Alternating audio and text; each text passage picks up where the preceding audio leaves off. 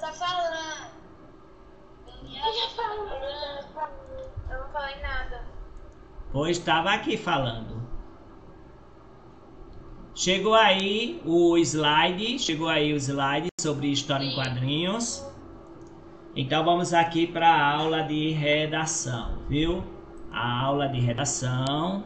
É, vocês vão ter essa aula agora de redação, depois vão fazer a atividade de história e vão ver a aula de sociologia de revisão, viu? Então tem, tem duas coisas para fazer. Vocês vão copiar na matéria de história essa folhinha aí que eu passei no grupo. Vocês vão pegar é, e ver a aula de sociologia que eu vou mandar o link, tá certo? Então, aí já te... sociologia pode assistir à tarde? pode. Sociologia pode assistir à tarde. Agora se você se você não assistir, aí eu vou cobrar, viu? O importante é ver, né, professor? É. O importante é ver, mas na hora que o professor pede, viu? Assisti de tarde, mas eu vou colocar meu nome. Tá certo. Professor, redação, é, sociologia. Sociologia daqui a pouco. É né? Então vamos lá. Vamos lá, sexto ano. Aqui, ó. Presta atenção, se concentra, que a gente já deu essa aula, a gente já tem aí no seu caderno de redação. Não é para copiar, se- só se você não não copiou, certo? Oi? Quem disse que ia copiar. Isso. Eu disse para vocês que a história em quadrinhos é também chamada de HQ. Existe a história em quadrinhos do Ocidente, que é essa que a gente vê, e existe a do Oriente, que é o mangá. O mangá é o HQ lá oriental, viu? Aí o que é uma história em quadrinhos? História em quadrinhos é uma narrativa em quadros. É uma narrativa sequencial. Quem não colocou isso aí, coloque aí. Narrativa sequencial. Certo? É uma narrativa sequencial que usa linguagem verbal e não verbal. Narrativa o quê, professor? Sequencial, de sequência. Tá? Narrativa sequencial. Tá. Calma aí. O que significa é? Narrativa sequencial que usa a linguagem verbal e não verbal. Narrativa sequencial que usa a linguagem Verbal e verbal. verbal e não verbal. Muito bem. Que usa a linguagem verbal Não de verbal e não verbal. Narrativa de quê, professor? Narrativa de quê? Sequencial Narrativa sequencial. que usa Professor, isso vai cair na prova? vai na prova de redação. Ainda bem que eu anotei. Ah, mas tá escrito que é uma história de quadrinhos. É, Mas vale pesquisar e computar o caderno, né? é, se você pesquisar e tiver a mesma resposta que eu estou procurando, é, aí é, é, bo- é boa. Lembrar, é, sequencial o quê, professor? é uma narrativa sequencial que usa Linguagem verbal e não verbal. isso.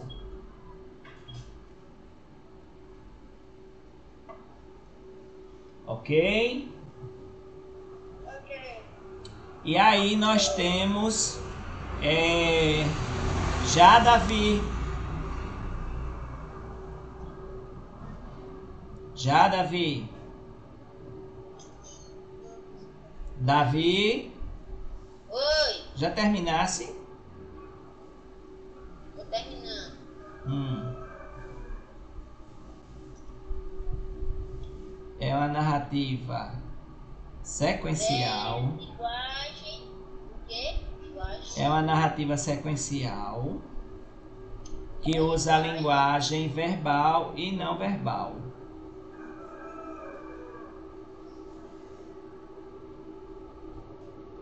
Aí lá, na, lá no teste de, de. Lá no teste de. No teste de redação tem isso, viu? Podemos seguir? Sim. Pronto, então olha, aí eu vou ler o que é que tá aqui no material, só pra gente ler mesmo. Porque a gente vai cair essa, essa definição aí, o que é HQ, o que é história em quadrinhos, aí você responde. Como é que você responderia, Débora? Poderia, que é uma narrativa sequencial. Muito bem. Como é que você responderia, Ravena? O que é história em quadrinho? Sim, essa é a pergunta. Como é que você responde? Narrativa criada para entretenimento. em Não, não, não, não. O que você escreveu aí no seu caderno? Então, eu tô lendo o que eu escrevi. No seu caderno? Eu mandei você escrever agorinha? Isso aí? Não, o que, é que, eu- o que é que você escreveu aí no seu caderno da agorinha que você falou? Pera, deixa eu mostrar. Tava lendo isso aqui, ó, que eu já fiz. Deixa eu ver. Sim, lê. Não, eu quero que você escreveu agora. Agora? Sim. Mas Pera aí, deixa eu ir pra uma folha. O que é história em quadrinhos? É a narrativa criada para entretenimento. Não é isso não, Davi. Eu mandei agorinha você escrever. Eu escrevi agora. Não, É você não... É o quê? A narrativa sequencial. Essa é a resposta que eu quero. Não é essa que tá aí, não. Essa aí é muito complicada. Eu tô querendo a mais fácil. Eu tô falando a mais fácil. Não, você tá falando a mais difícil. Você tava lendo aí do negócio do, do slide. É Aqui, ó, professor. Certo. Diga aí então o que é HQ, o que é história em quadrinhos. Ravena. Tô pensando no que dizer. E você não escreveu não que eu falei aqui não? É uma narrativa sequencial que usa linguagem verbal não verbal. Muito bem. Quê? É uma narrativa sequencial. Escreva aí.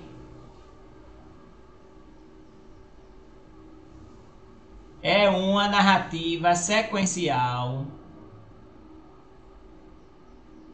que usa. Deixa eu ver se você está fazendo mesmo. Cadê que tu não está escrevendo? Ravena, não tô vendo você escrevendo, não. Seu microfone tá mudo. Ah, aqui, ó, professor. Lê aí pra mim, então. É porque eu não terminei de copiar. Você eh, escre eh, lê aí o que é que você escreveu aí. É uma narrativa sequencial que usa. Que usa linguagem verbal e não verbal.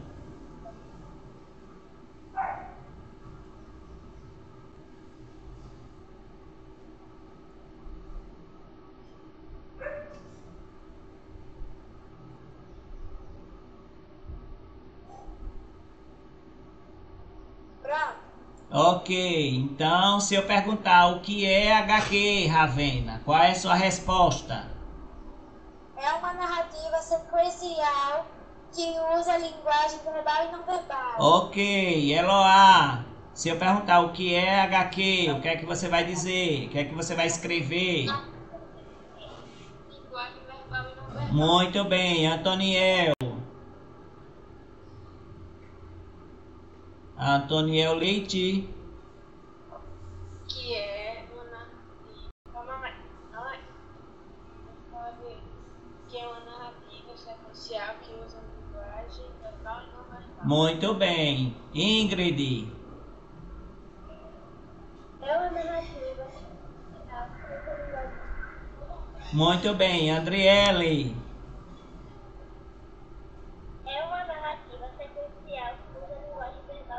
Muito bem, Maria Carolina. Oi, professor. É o que é uma um HQ?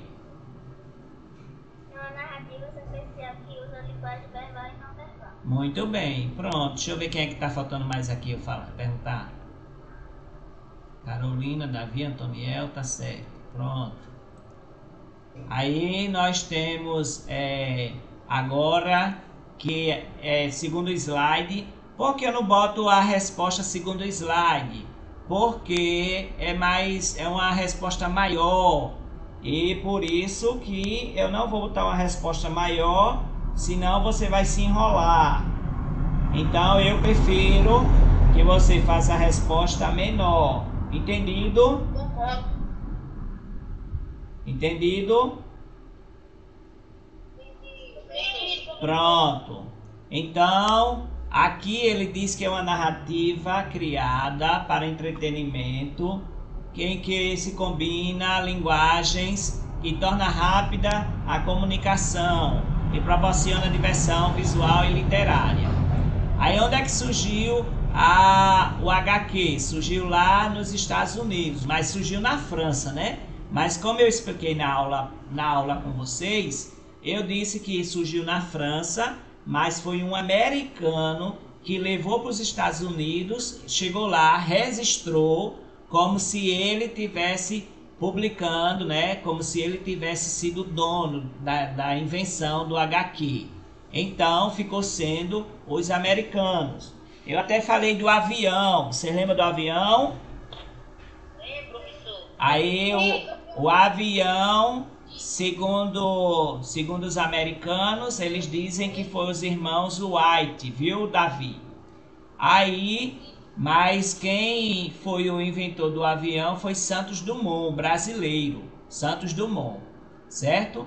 Mas aí fica essa disputa aqui dizendo que os americanos inventaram o avião e os brasileiros dizendo que quem inventou foi Santos Dumont, que é brasileiro. Certo? Olha, a primeira personagem dos quadrinhos. Oi? Oi, Eloá. Esse povo é muito mal. Com certeza. Aí, ó, o primeiro personagem é, dos quadrinhos foi o Yellow Kid, de 1895, é, que foi, foi desenhado pelo, pelo Richard Felton Otco, que é um americano, certo? Aí tem aqui, ó, a, a, o Yellow Kid, né? O menino, menino amarelo, né? Aquele, o Kid Yellow tal. Aí surgiu o gibi. O gibi, comic books, o gibi, pode ter ou não ter palavras. Se tem palavras, é linguagem verbal e não verbal. O que é linguagem verbal? É aquela que tem é, palavras. O que é linguagem não verbal? É aquela que tem foto, tem, vi, tem é, tela, tem quadro e etc. Imagem. Imagens, tudo mais. Quando tem as duas, é linguagem verbal e não verbal. Então, é, os três americanos para ganhar o dinheiro em cima dos jornais, né, eles começaram a fazer as tirinhas. As tirinhas é uma sequência de quadros. Pode ser de quatro quadros, pode ser de três, de dois, de cinco, de seis, viu? Aí tem aqui. Aí aqui nós temos a, a, o HQ no Brasil, que surgiu com as aventuras de Inhoquim em 1869. É, ele era um matuto que chegava na cidade grande. Aí depois, em 1905, surgiu a revista O Tico Tico, que tinha 27 mil exemplares. Né? Aí depois, claro, ela chegou ao, ao fim nos anos de 1950. Ou seja, essa revista acabou, né, de HQ, acabou nos anos de 1950. Aí, olha, a linguagem é uma linguagem que usa linguagem verbal e não verbal, certo? Quais são os meios que nós encontramos os HQs? Tem na internet, tem nos jornais, todo jornal tem seu HQ, tem sua charge, tem sua tirinha. Nas revistas também. E alguns álbuns também, né? Então, o HQ mais famoso do Brasil é a Turma da Mônica. Mas tem Calvin, que é esse menino aqui. Tem o Recruta Zero, né? Aí, olha, as tirinhas sem texto. Quando elas não têm texto, é chamada de linguagem não verbal, certo? Quando não tem texto. Aí é linguagem não verbal. Quando tem texto, é chamada de linguagem verbal e não verbal, tá certo? Aí tem aí linguagem verbal e não verbal. Aí tem o Garfield, que todo mundo conhece. Tem as tirinhas que vem toda semana, Toda semana ela está sendo publicada nos jornais, nas revistas, na internet. Aí tem os, os super-heróis nos quadrinhos, viu? Tem os super-heróis no, nos quadrinhos. E tem aqui, ó, mais revistas. Turma da Mônica, Mafalda. Mafalda que é argentina. Turma da Mônica Brasil.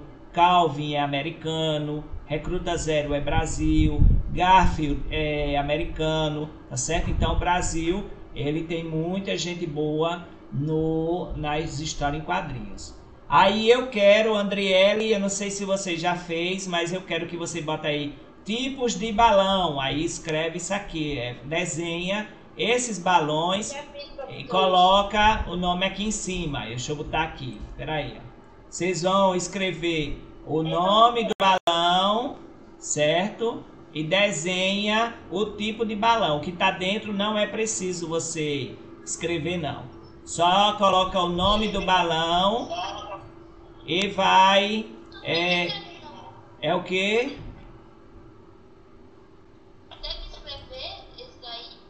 Você não fez não?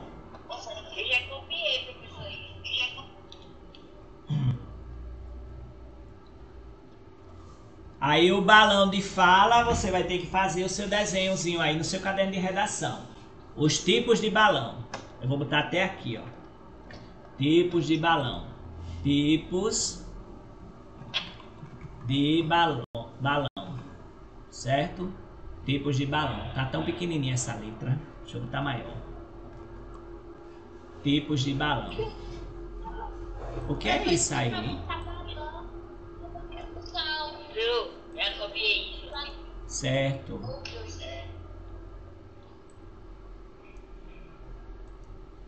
Aí, ó. Oi.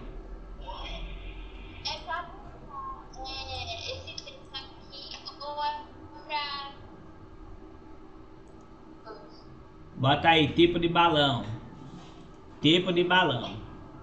Aí o que é que vocês vão fazer? Vocês vão pegar, vão desenhar assim um balão, ó, balão de fala. Aí tem bicho. Aí você vai aqui o nome em cima, fala. Balão de pensamento, aí desenha um balão de, de, de pensamento. Balão de grito. E assim vai. Pronto, tem somente 3 minutos para fazer isso. Oi. Faz de todo jeito aí. Faça aí de todo jeito aí, do, do jeito que você sabe.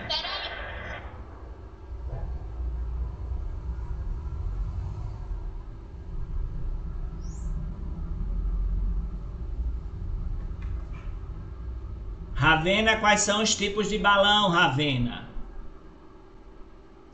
Senhor, senhor? Quais são os tipos de balão? Fala, pensamento, grito, cochicho, amor Deixa eu ver aí se você desenhou no seu caderno. Eu só desenhei até amor, por isso que eu tô fazendo. Deixa eu ver. É, só um minuto. Certo. É. Eu tô vendo o teto. Muito bem. Deixa eu ver. Cadê o. Cadê o de. Pensamento? Tá certo. Pronto, vai fazer o restante. Davi, deixa. Davi, deixa eu ver, Davi. Deixa eu ver. Abra aí a câmera para eu ver.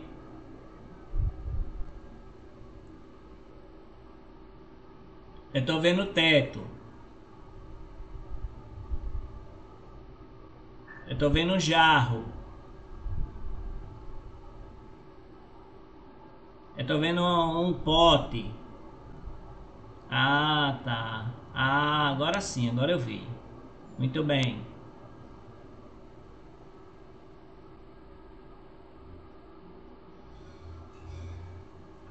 A câmera tava virada pro lado da parede. É, é isso que eu tava dizendo a você, que eu tava vendo, É que eu tava vendo o teto, certo? É porque é. Oi.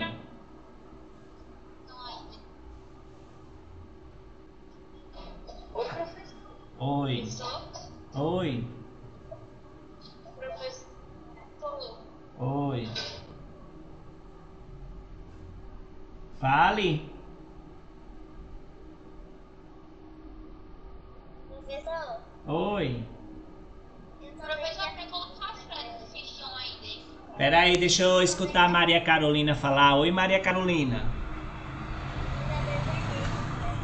Tá certo, deixa eu ver. Abra aí que eu quero ver. Abra a câmera que eu quero ver. Terminei, Muito bem, perfeito. Menina do céu, ela fez bem direitinho, muito bem. Ingrid, deixa abra aí a câmera que eu quero ver o seu balão, seus tipos de balões.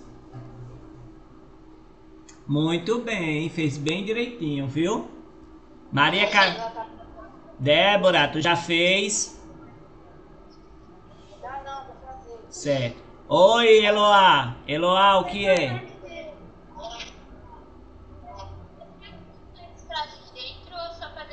É só pra desenhar, não precisa botar as frases de dentro não.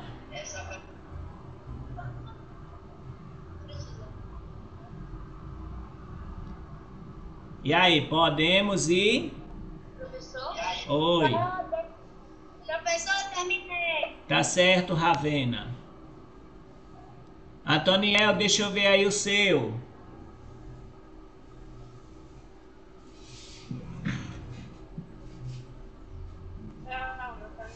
Tá certo. Ela aqui. Tá certo.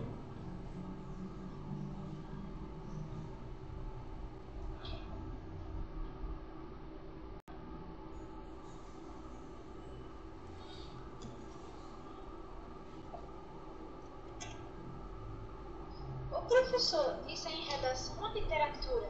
As duas coisas, viu? As duas coisas. Mas você pode fazer em redação aí, mas pode ser literatura também. Eu fiz em redação. Tá certo. Porque depois eu vou já separar os assuntos em redação. Antoniel, muito bem, Antoniel. Tá ótimo. Ah, faltou botar o nome, né? Em cima, Antoniel. Tu vai lembrar? É. Tu vai lembrar se, se não botar? Hein? Lembra? Olhe que você não vai lembrar. Ah, coloque aí, porque senão depois você não vai lembrar. Aí quando eu perguntar que tipo de balão é esse aqui, aí você não, não mostra, não, não coisar, você vai se enrolar todinho.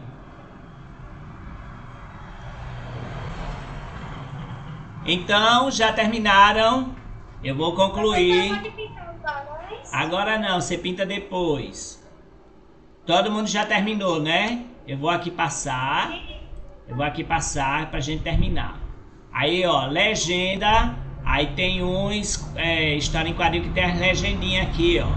Aí é justamente é um pequeno texto para descrever alguma, algum fato, informar alguma coisa que está relacionado com o quadrinho anterior, viu? Aí eu quero que vocês botem aí onomatopeias. Deixa eu botar aqui, ó. Você vai botar aqui, ó. Onomatopeias. Sons da natureza. Tá pequeno, porque não dá pra ver nada. Tá, eu vou botar grandão agora. Melhorou? Vou grandão, não dá pra ver Pronto. Aí vocês vão botar sons da natureza. Eu vou perguntar o que é onomatopeia. Eu queria botar na natureza. É o que, menino?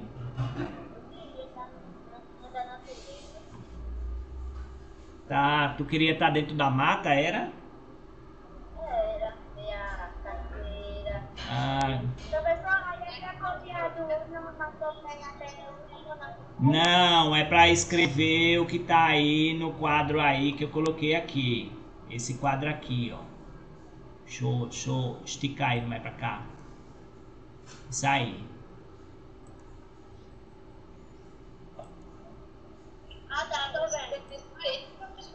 Hein? Escrever só isso. É, porque vocês vão. Quais são as onomatopeias? Tic-tac do relógio, zum zum da abelha, piu-piu, au-au, miau, toque-toque. Toque-toque é do quê? Da porta, muito bem. Tic-tac, O relógio. muito bem. Pronto, depois disso, vou encerrar aqui a aula e vocês. E vocês vão para vão para fazer a atividade de sociologia e de história, tá certo?